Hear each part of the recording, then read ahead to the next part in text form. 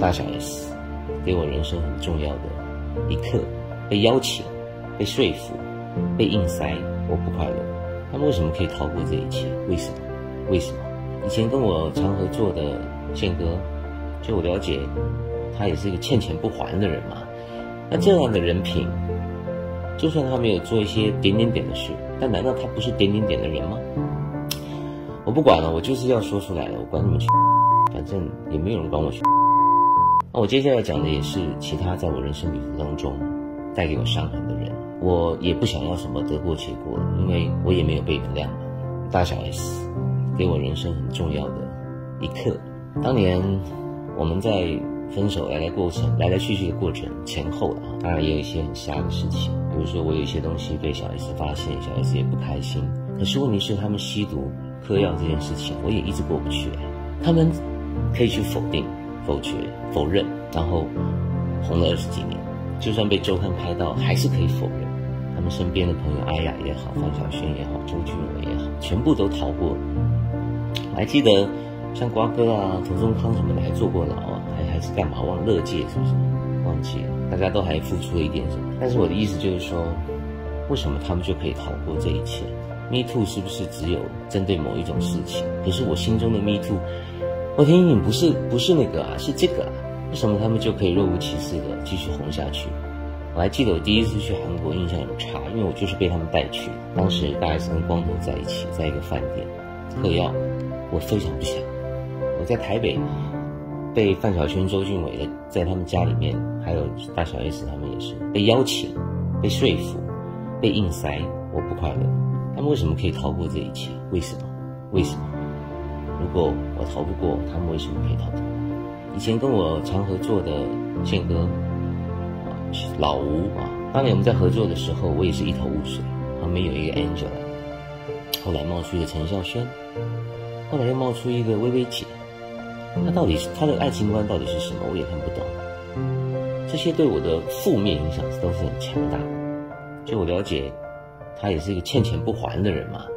那这样的人品。就算他没有做一些点点点的事，但难道他不是点点点的人吗？还有那个曾国成在中山堂主持节目，后台抽烟喝酒，舞姬耶，谁敢制止？谁敢？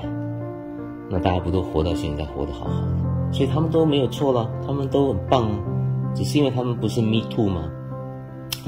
我不管了，我就是要说出来了，我管你们，反正也没有人管我。那我以前在感情路上，我也伤害过别人，我也被伤啊。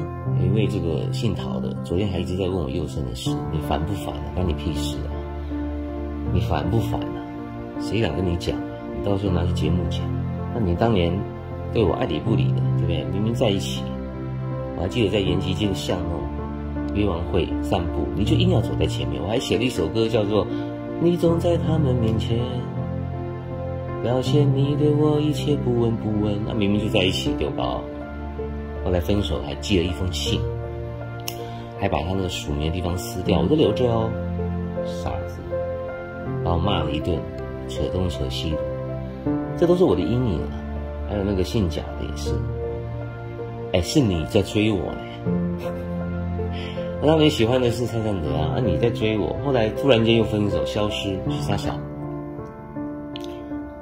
然后夏雨桐也是神经病哦，始终不承认你丢高，不懂啊，这些阴影我都放在心里，我也留下了很深刻的伤痕，所以现在是怎么样？我们大家都选择不愿意放下，不愿意 let it go，大家都要说过去的伤痕，谁没有伤痕？谁？多数的人都是从伤痕当中，从伤害自己、伤害别人、被伤害走过来的，不是吗？我不知道这个事情到什么时候才会结束。那最后我要讲的当然是完全对不起我所有身边的人。我太太都不知道这些事情，可是我太太在我认识她之后，尤其是这九年吧，我绝对是，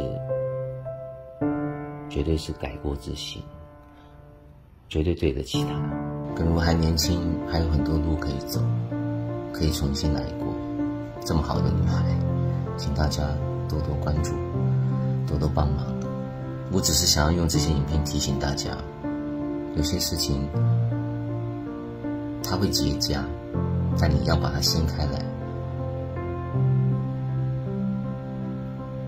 会流血的，会很痛的，会有更多事情发生的。我也要拜托那些煽风点火的、围观的、落井下石的，何必呢？你们真的都没有犯过错吗？你们都没有秘密不想被人家知道吗？就像我前面讲的那些，很多人都不知道吧？就像我，我其实头发掉了很多，为了上台好看，都要戴发片、假发。我也没有在避讳了，只是觉得也很累。真的人生好难呢，我还是最最对我的爱的人人跟我爱的人说抱歉，谢谢你们的信任。这几天大家在群主讲东讲西的时候，我也是很矛盾，我也没有。也没有觉得很享受这一切，七嘴八舌的，三姑六婆的，唉，很棒，表示你们都是坦荡荡的人。